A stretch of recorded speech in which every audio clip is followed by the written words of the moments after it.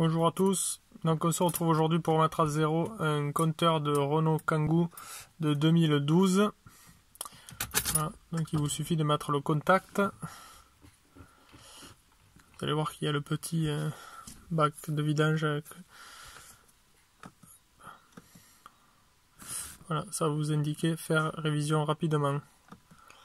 Donc vous faites défiler avec le bouton du haut de là à arriver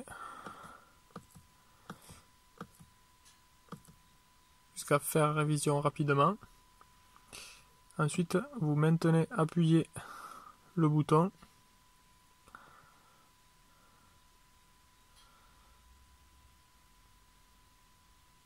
Et vous pouvez relâcher toujours avec le bouton du haut.